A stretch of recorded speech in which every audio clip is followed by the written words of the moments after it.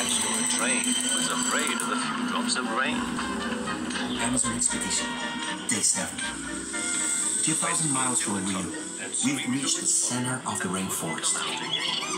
We are surrounded by plants and animals struggling for survival as we glide effortlessly down the river. Effortless for you. Oh, fit it out, fit it out! The engine's name is Henry. We're near the nesting grounds of the Amazonian wood quail, Odontophorus gujanensis.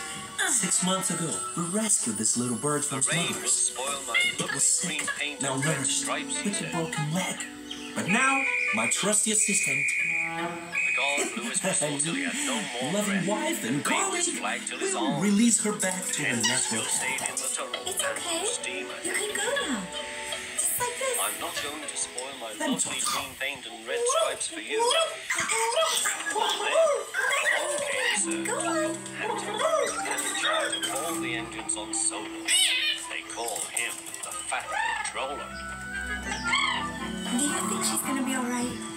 Give it some time. We will pull you out, said the Fat Controller. But Henry only knows steam.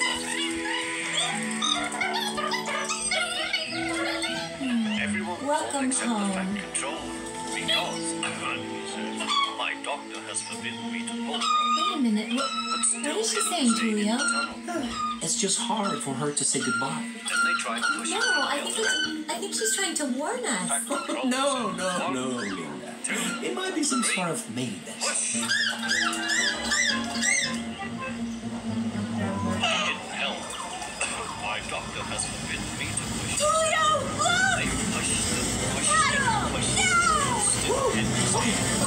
They